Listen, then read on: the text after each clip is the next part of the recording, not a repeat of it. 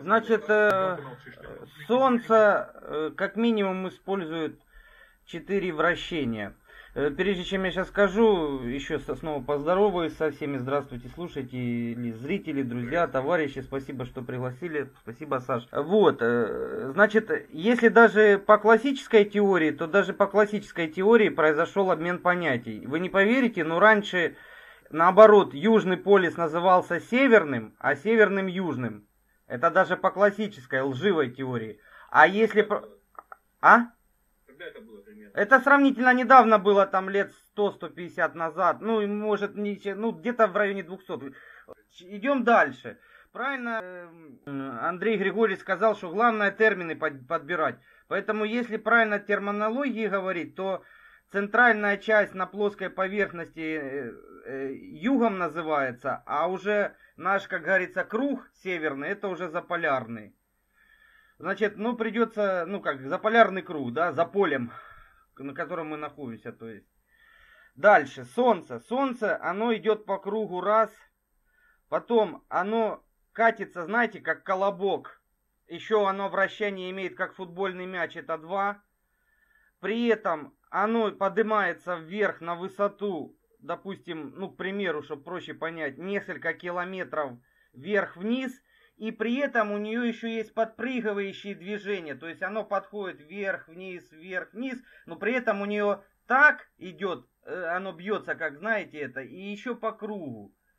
И- ну, небесная канцелярия, она сказала, ты говори, а там кому нужно, те услышат. Прямая связь, Да, да, да, да, да, да. А галлюцинация. Пускай, пускай это будет галлюцинация. Я ответил на вопрос, это что касается, касается. Я. Да не солнце увеличивается в размерах. Вы знаете, что есть выключатели, вы можете лампочку свою в комнате сделать темнее, светлее, ярче. Вот точно так же в определенных местах. Я Кстати, мысль шикарную поймал. Сейчас уловлю. Может кто-то сталкивался. Я что-то сейчас себя поймал на мысли. Есть очень много роликов, где ракеты запускают любители, они бьются о купол. Кстати, очень хорошо, если вы посмотрите ролики на ютубе. Я... Ну, это опровергал даже. Э, Видимо, Мы не знаем, э, э, что мог он опровергнуть. Что? А Котлярова опровергает Кунгурова. И что теперь? И чем ты его опровергаешь? Тем, что ядерные взрывы очень хорошо показывают свечение купола, потому что ядерные взрывы иногда просто дают хороший бли- блик. Аватарке. Но я хочу сказать за другое. Смотрите, э, когда запускали ракеты к куполу, это мы все видели. А вот нету, интересно, роликов, может они появятся. Я знаю, что теоретически возможно ракету к Солнцу лампочки запустить. Она что рядом на самом деле. Вот может есть... в ин- Немножко 600. Солнце очень ближе, чем купол, поэтому теоретически можно запустить какой-нибудь свисток. Вот видишь, бро, в чем принципиальная разница? Ты кидаешься авторитетами, я кидаюсь с собой. Уловил? Уловил, в чем момент?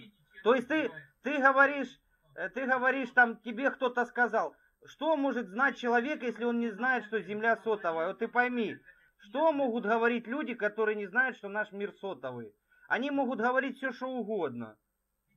Э, Но это было никак и не уважение или что-либо. А я его так не назову, между прочим. Вот я его как раз-то уважаю. Потому что он очень большой вклад внес. Колонны и ядерные воронки. Он внес, он внес большущий вклад.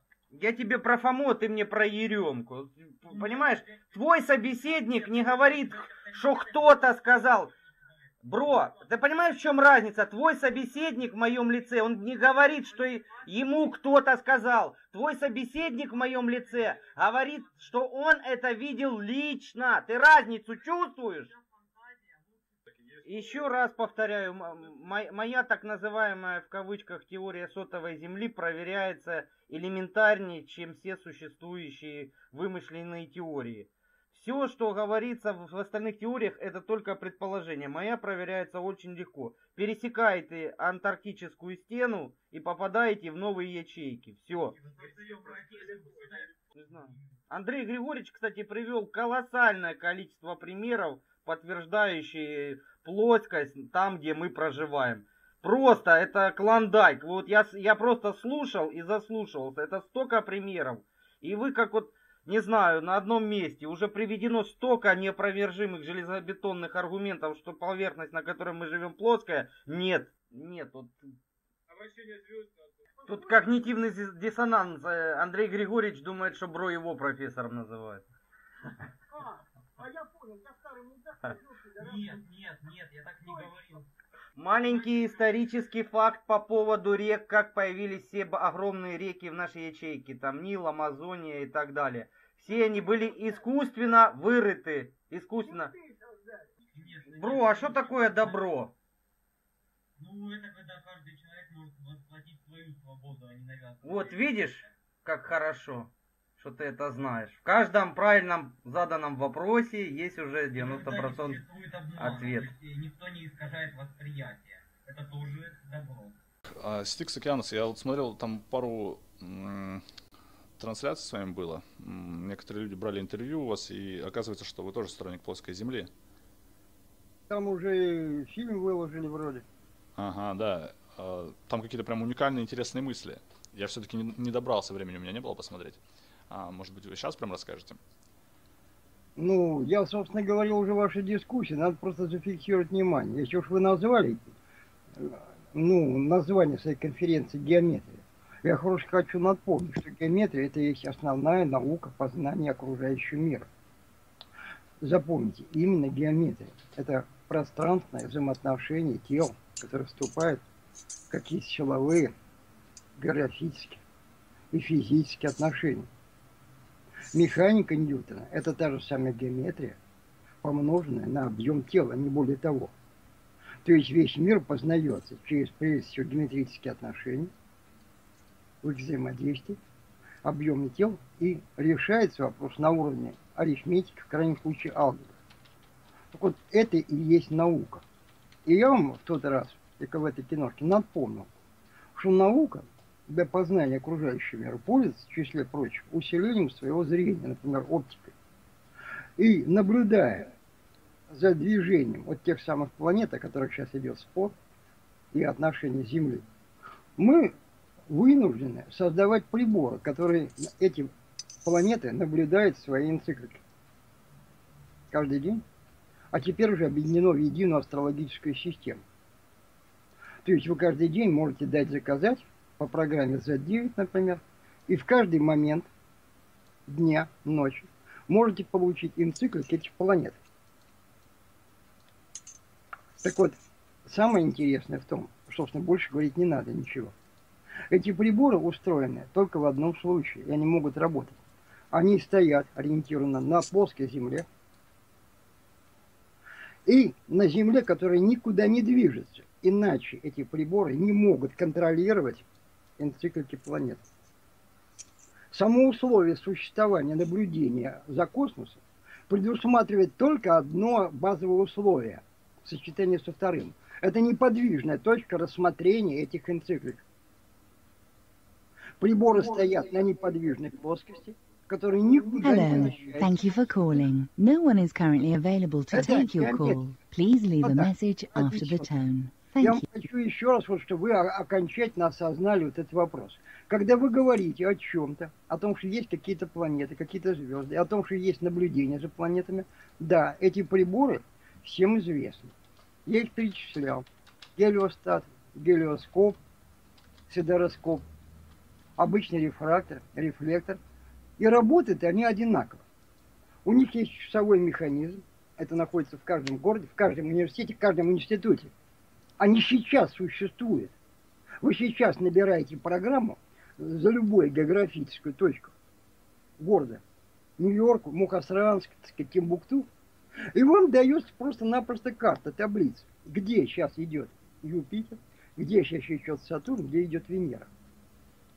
Их наблюдают вот эти все деростаты, гелиографы и гелиоскопы, которые стоят на неподвижной, никуда не вращающейся Земле.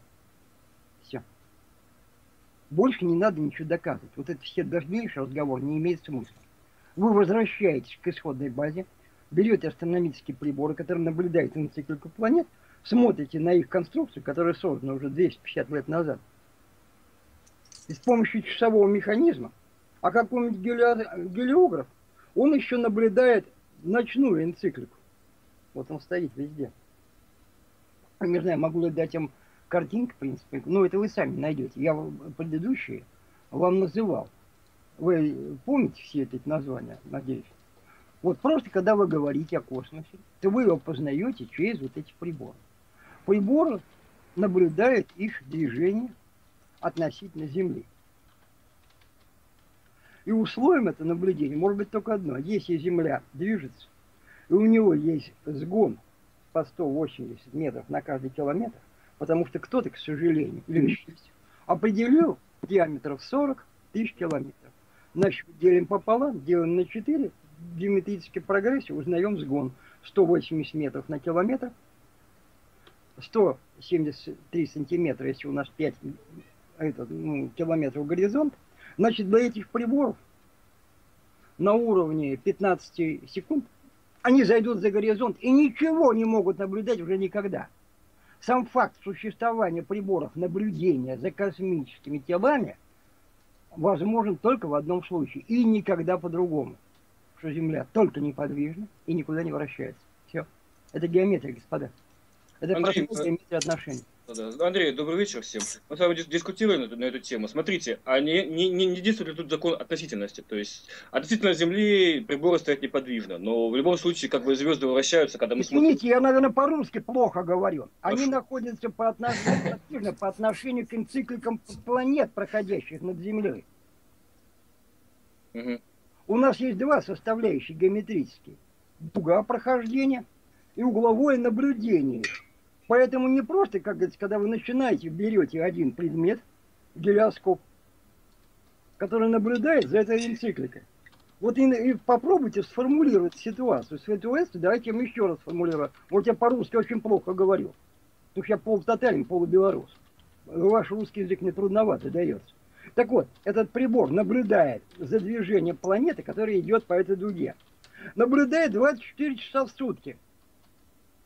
Если Земля движется, вы за 15 секунд уйдете за горизонт, который уходит на 180 метров на километр. Если Земля не плоская, вы не сориентируетесь отношение, и не сможете записать, где находится эта планета по отношению к вам, по отношению к тому созвездию. Какая дискуссия может быть?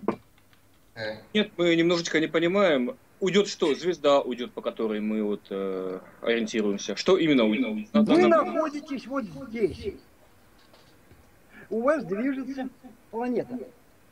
Если вы сами движетесь по круглой Земле, вы через 15 секунд уйдете за горизонт. Что ж тут понимать-то надо? Ну это понятно, понятно. Всё. Вопрос- Закончили дискуссию. Да, это, это понятно. Вопрос А что непонятно? возникает. Вопрос один возникает. Э, То есть те ученые, там, условно говоря, которые... Кто добавляет Давайте так не произносить Артем, слова это те твоя ученые. работа? Никогда вы не одного Легиона, ни одного что Земля круглая, что Земля вертится. На легиона я добавил. Вы никогда я- не слышали ни одного утверждения. Вопрос, вопрос. внимания. Ну, вопрос, можно один вопрос? То есть и все вот эти ученые, которые пользуются этими Нет понятия приборами, ученый, не надо говорить Ну. на колхозном языке. Есть дисциплина геодезия, есть ну, дисциплина... геодезисты, геодезисты, да? Отлично!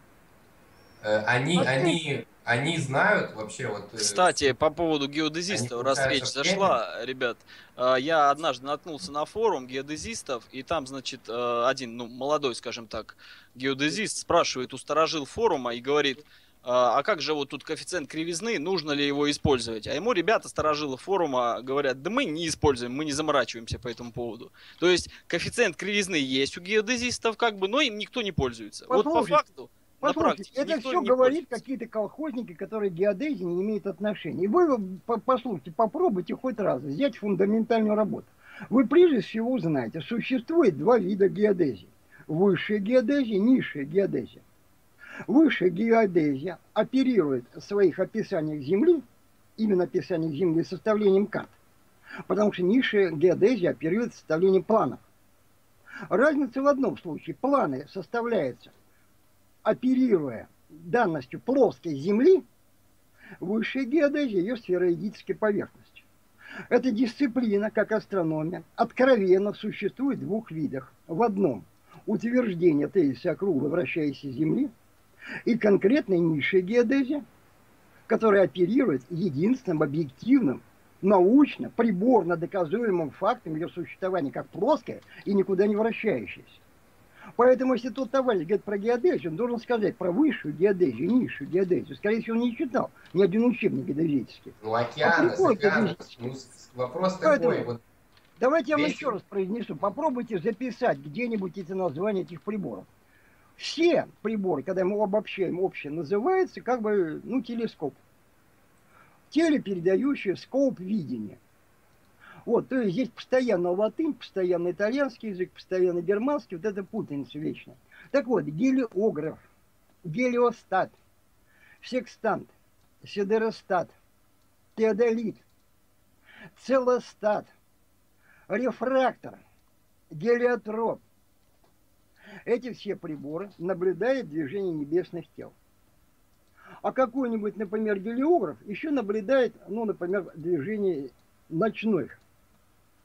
При этом этот же, тот же самый прибор днем стоит на площадке МГУ, Гейдельберга, Лондона, Нью-Йоркского, так сказать, или где-то там в Массачусетте, стоит на одном и том же месте и наблюдает круглый суточный цикл ну, этих планет. И наблюдает он с одного места по всей окружности вот этого движения этих планет. Это геометрия, господа. То есть это вот как можно объяснять, что вот кирпич прямоугольной формы? Как можно объяснять, что водка это жидкость, которую можно пить? Вот э, когда я возвращаю вас, вы же назвали геометрия, фундаментальные знания, как вы их познаете, окружающий мир? Через количество. Количество, которое выражено в пространстве и в геометрических отношениях. Это фундамент бытия, познания окружающего мира. ну, за 250 лет ему как бы в голову не пришло вот этого ваша теория. То есть Это, Вы говорите это никому не 250 пришло, лет. Потому что никакому Ага. идиоту не приходило доказывать объективную реальность. Любой технарь, любой специалист знает с пеленок, что Земля всегда стоит на месте, что она плоская. Это знают геодезисты, знают проходчики метро, знают строители городов, это знают гидрологи, для которых понятие ущий уровень мирового океана – изгон воды. Потому что вы никогда не сможете определить побудительный импульс рекам течь куда-то. Вот у вас есть реки, которые, если верить этой параноидной, веселой, бредовущей, округлой земле, которые находятся 180 метров на сгон на каждый километр. Какая-нибудь Оренока, какая-нибудь Миссисипи, какой-нибудь Обь. Как вы заставите мотивацию вот этой вот воде, не сжимаемой про материи, кислород и водород, течь? Течь она может только в одном случае, это вам скажет любой учебник гидрологии. Если есть сгон самого русла, если учитывая, что есть уровень общемирового океана. Если у нас единый уровень, который обтекает Землю, движение рек невозможно. Это просто заполнение единого водоема. Все стоит на месте. Так есть же земля, есть высота над- уровнем моря, все равно как-то. Подождите, это опять разговор в пользу бедных. Здесь международное общество. Международное общество измерения Земли. В 1861 году оно было создано. Можете к нему обращаться. Я в своей вот этой киношке все это перечислил. Мне сейчас лезть за бумагами, если вы сказали. Я вам просто прочитал тезисы из учебников фундаментальных описаний геодезии. Геодезия откровенно заявляет, что если мы используем ну, этот... э, вот вначале вам говорит, что для подсчета Земли существует такая дисциплина. Вот попробуйте, запомните, если сможете, ваше поколение. Вот это трудно будет. Сфероидическая тригонометрия. Но оказывается, если мы оперируем расстоянием в пределах где-то 100 километров, можно совершенно спокойно использовать как сферическую геометрию, тригонометрию. Но оказывается, практическая деятельность, это пишется впрямую, через запятую, любой фундаментальной науки. Мы можем в пределах 10 километров использовать все расчеты, исходя из плоскости.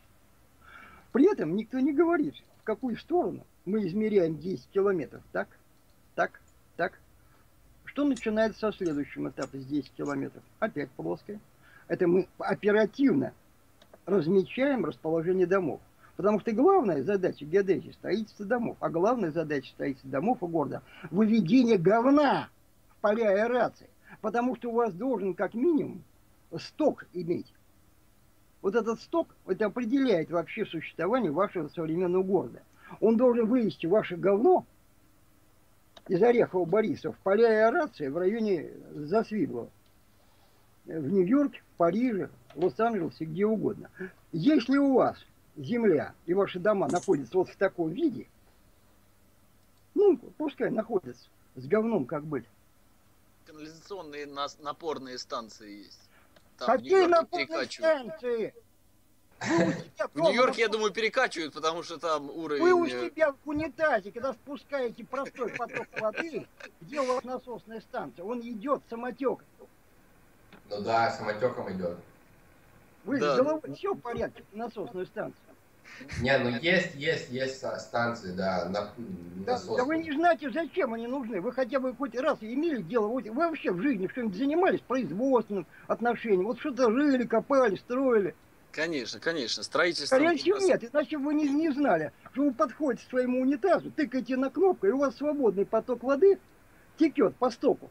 Ну Какой да. Ну, сток, если у вас на 100, э, на километр 180 э, градусов сгона. И если у вас дома находятся вот здесь, а вам надо вывести в поля аэрации вот сюда, километров за 30. Вперед и с песням, я посмотрю.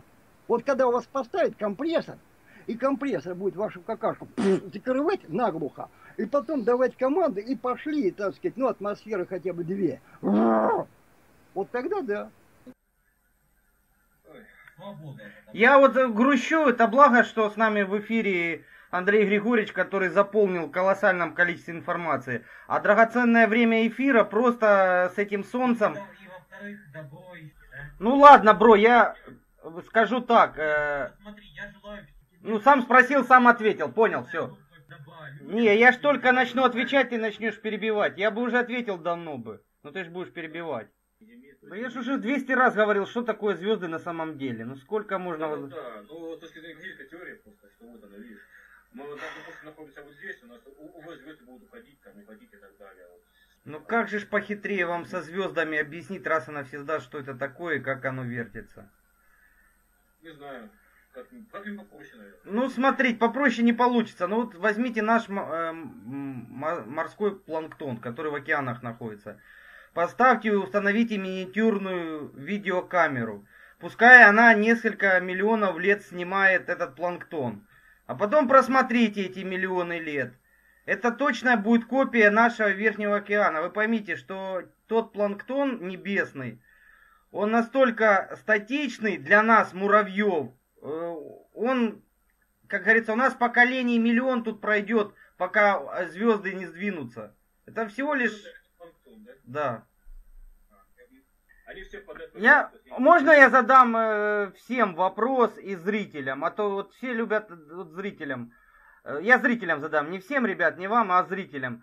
Вот когда вы спрашиваете там солнце, э, там какой там величины, где оно находится, мне, честно говоря, самому интересно, а смысл для вас, что это дает? Вот скажите смысл, что, что вы хотите этим узнать? Вот кто-нибудь ответит мне, для чего вам нужно еще солнце сделано, купол, что такое звезды? Вот смысл этих знаний, как они могут э, быть применимы в нашей соте? А для нас, зачем мы туда общаемся? Ну, во. А я всегда делю знания на те, которые могут иметь это практическое применение, чтобы... Если ж люди любят... Мы через миллионы лет вы... Чем он слушает? э, Бро, у тебя что это? Как у хамелеона уши движутся по твоей маковке. Одно закрылось, другое открылось. Я тебе про Фому, а ты про Еремку. Вот сидит... э, Или вас там несколько. Вот это вы бегаете по квартире, меняетесь. Ай нас тут разыгрываете. Ничего себе, я только что раскусил тайну золотого ключика. Бро, шесть человек, они все походу подбегают к камере и начинают тут устраивать дебош. Ты про добро? Ну ты я начну отвечать, ты будешь перебивать. Я проще скажу, дайте я бро скажу в двух словах. Э, человек предполагает, а боги располагают. Ферштейн? Ну и, бро, ты просто не знаешь, что такое добро и что такое зло, поэтому и? Вот. Есть, так, Есть такая песня «Край, мой ридный край». Дядя Андрей, приводилось уже колоссальное количество примеров, что люди даже с огромными средствами не могли достигать края, их разворачивали. Нам говорили, что вежливо. Это сейчас какой бро возле компьютера? Вы хоть э, представляетесь, бро первый за компьютером, бро второй. Ой, начали за здравие, кончили за упокой. За антарктическим кругом находятся ячейки, по периметру от нас еще 600 и так далее. Каждая под куполом. Купол имеет сотовидную форму, так же само. Назовем его из полого кристалла. Хуже бывает, когда на нашей соте разворачиваются вообще левые и между собой решают тут разборки. Бро, у меня на канале есть свежий трехминутный ролик, называется «Сотовая земля. Человек – это маленькая вселенная». Он идет всего лишь три минуты. Если ты наизусть выучишь сказанное в ролике, и каждое утро, каждый из вас, бро, сколько там вас, не знаю, будете его рассказывать друг другу, а у тебя отпадут все вопросы. Я он в Википедии написал статью «Сотовая земля», а меня забанили и сказали, что я вандал.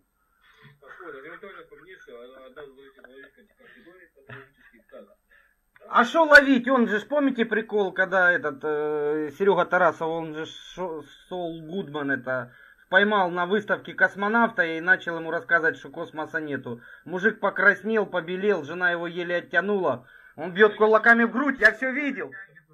Ну, он на, нам пытался уверять, убедить в том, что космос есть. То же самое будет и... Бро, ну включ... Бро, включи логику. Если не существует стран мира, то как могут быть существовать правительства? Правительств тоже не существует. Существуют посредники, так сказать, которых скоро... А еще подобрать правильный термин. Посредники. Как вы себе это представляете? Вы понимаете, что плотность купола нашим консервным банкам не дает выйти в настоящий открытый космос? А даже если бы они вышли теоретически... Купол, он, скорее всего, кинетический. Да, э, если бы я в свое время забытого Андрея Григорьевича не выложил бы на ютубе. Андрей, я хотел бы возразить насчет теодолита. Дело в том, что, вот смотрите, прибор это стреляет не на, не на много, не на большое расстояние, на километр, на два, ну там, относительно Тихо, тихо, тихо, большое. тихо, тихо, подождите. Да, Вопрос- я хотел продемонстрировать вам кое-что просто. Да не надо мне демонстрировать, я просто был линейщиком, и я размечал дистанции. Ну, Вот, СССР. Так вот, я вам просто скажу так. Вы переносите свои палки. Вот Сидоров стоит, вот Иванов. Вот у вас середины вот этот теодолит. А расстояние какое сразу? Ну, чтобы удобнее друг за другом контролировать, запить, чтобы можно покурить друг от друга. Ну, в районе где-то 600-400 метров. Вот, расстояние А, ничтожно мало. Подождите. Ну, вы же ставите на одном месте, это переносится палка и делается разметка. Это переносится палка и делается разметка. Это не палка, а рэперная точка называется. Нет, она называется дрын. В, нормальной жизненной практике называется дрын. Так вот, Ну этот да. дрын вы перетаскиваете, Иванов приходит на место Сидорова, Сидорова обгоняет, и дальше вы ведете прямую линию. За день, например, вот, вот, ну, где-то в среднем, ну, километров 20 можно пройти. Потому что приходится на топором вырубать деревья, чтобы построить линию. Ну, линии ты букпашня вели. После Поэтому да. намного он не надо ему намного. И я всем предлагаю, я этот эксперимент проводил где-то еще лет 10 назад. Вы берете сейчас в условиях любого города, ставите 5 дрынов, чертите на теодолите нижнюю линию. Вот сейчас, прямо все, кто присутствует, вы можете за день, завтра это посмотреть. И завтра вы убедитесь, что бред по поводу во- этой круглой земли выкиньте на помойку. Вот это мне раздражает говорить об этом. Еще раз. Вы берете теодолит. Лучше, конечно, нивелир. Потому что теодолит с нашими поправками, вы хрен знает чего. Это, ну, вы же не швейцарским будете пользоваться. А тут очень просто. Но предварительно я вам хочу напомнить. Как идея круглой земли похоронили еще со времен, в общем-то, Эйлера. Обычная канавка из медных пластин склепали. Я забыл, где-то порядка было в районе 91, там типа явно. Вот. Ну, собственно говоря, вопрос, э, что еще, применять метр или нет. Короче говоря, 90 ярдов. Сделали канавку. Налили туда ртуть. Задача просто замерить ее выглядит. После этого все эти эксперименты, ну потом Морозов проводил, это проводили, в общем-то, в районе Шлёцера и Ломоносова. И тихонько прикрыли. На 90 ярдах изменений ее плоскости не происходит. До сего дня существует такое понятие, как ртутный уровень. Это базовая основа. Он принимает свои размеры в зависимости от силовых линий плоской Земли. Так же, как великий прибор, так называемый гироскоп, который существует везде, всегда на всех кораблях, на всех, особенно подводных лодок. Вот там плавать по кругу э, очень проблематично. Он принимает свое положение строго параллельно силовым линиям плоской земной плоскости. И по-другому этот прибор не существует. И никогда не может существовать. Это закон природы. Вот есть понятие закон природы. Вот если сумма внутренних уг- углов вот этого треугольника 180 градусов, вот вы не можете его нарушить, разве что разорвав этот треугольник. И Если вам говорят, что и прибор, который 24 часа стоит на одном месте и наблюдает энциклики планет, то вывод один. То есть вы просто говорите о том, что вы видите реально. По отношению к этим энцикликам планет, он должен стоять на месте только на плоской Земле. Иначе вы угол не посчитаете, вы сектант не посчитаете расположение вашего вонючего корабля. Потому что у вас действует великий закон, базовый, планет, планетарной геометрия. Вот горизонт, вот наше солнышко, а наш балдоха. И здесь вы можете на отношении, зная сколько времени, знаете угловой сгон, и по карте подчертить, где вы находитесь. Вот если вы через 15 секунд уйдете сейчас за горизонт, вы ничего не посчитаете. Если у вас не будет единый плоский уровень мирового океана, вы ничего не посчитаете. Вот. Э, начните с базовых основ наблюдения за небесными телами. И вы придете к приборам, которые просто на основании механики. У вас стоит анкер, он крутится, вот 24 часа, ту-ту-ту-ту-ту-ту-ту, и кру- и наблюдает. И вас он стоит. Стоит везде, вот сейчас какой. Итак, давайте на, закончим с определением. Итак, вы берете 5 дрынов.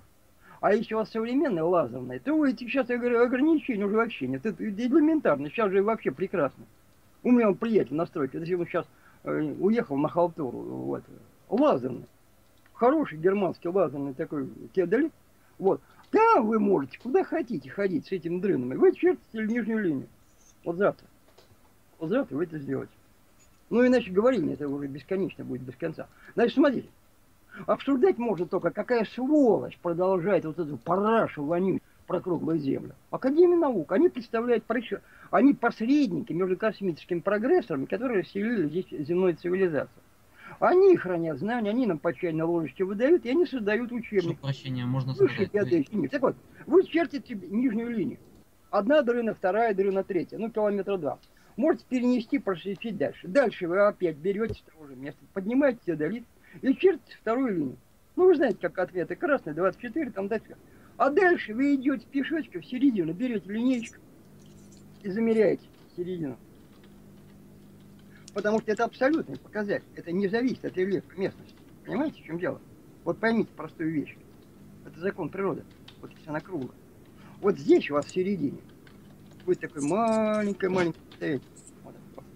А на концах у вас будет, блин, как- оказывается, что у вас вторая линия-то ушла метров на три или как, она не может уйти. То есть у вас середина как раз уйдет в минус. Она будет линейку поднимать вверх этой линии и замереть, куда же она ушла -то? Уже начнется линия пере- перемещаться, то есть вы это сделали параллельно, а когда будете замерять, вы все это увидите. Разведите руками. Мгм. Давайте я запомню еще вам один великий закон всемирного тяготения. Обращаясь к великому мэтру Ньютону. Ракеты, вы знаете, летаете не поэтому, товарищ вот этому с еврейской фамилией, а не по Ньютону. Закон механики, она другому не бывает. Полет, гироскоп, гиростат, все.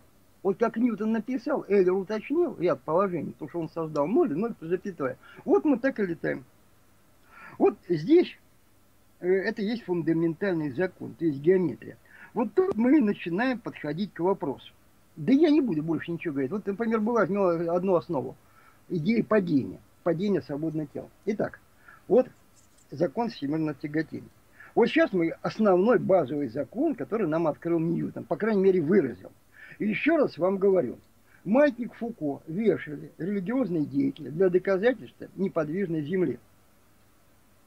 Вот его висение неподвижно доказывает, что Земля никуда не вращается, потому что если у нас Земля вращается, то у него, так как смещается крючок, точка, точка, где он повис. Вот пересмотрите, что происходит. Еще раз попытайтесь понять фундаментальную простоту. Вот после этого говорить не о чем. Вот смотрите внимательно. У вас здание вместе едино с землей. Оно движется. Туда и сюда. А у вас крючок и независимая вот это вот на веревочке висит бульба. Так вот, смотрите, что происходит. Если мы берем, например, смещаем этот крючок, у нас бульба остается в своем прежнем положении, а дальше она стремится вернуться в свое положение. Это вполне естественно. Ссылаясь на Ньютона. Попробуйте сошлитесь на каком-то Рабиновиче, Бенге, кого хотите. Я предпочитаю Ньютона. Надеюсь, сомневаться никто не будет. Так вот, он стремится вернуться в свое исходное положение. Перейдет эту границу, повышенную инерцию движения, и постепенно, затухая, примет вертикальное положение. Если у нас происходит постоянное смещение, а оно неизбежно происходить, вот это и показывали церковные деятели, когда во всех храмах мира висели вот эти штуковины. Потом под давлением государства, государство эти маятники сняли. Его восстановили, сдуло почему-то в Исаакиевском соборе 31 Туда приходили попы, водили людей, показывали. Он стоит, маятник. А он должен вечно качаться, это вечный двигатель.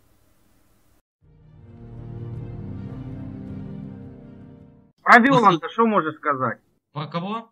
Про Виоланда. Виоланд это кто?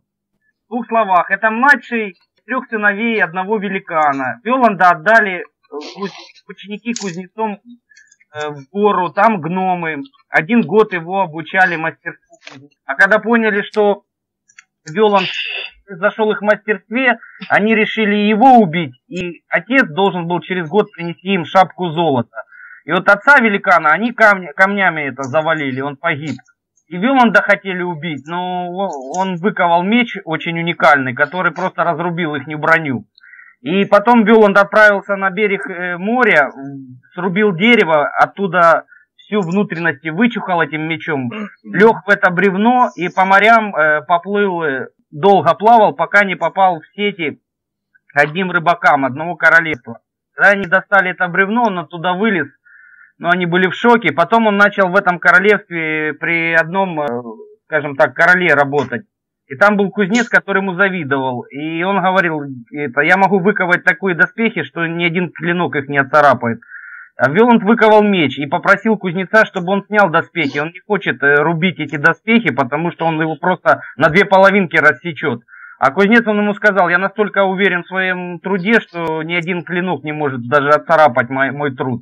Но он сам, говорит, ты выбрал. И он махнул мечом и на две части распорол его. В итоге Виоланда потом сослали на один остров, на котором он должен был до скончания века этому королю доспехи рубить. И как-то случайно его старший брат завел, забрел те места. У него старший брат был охотник.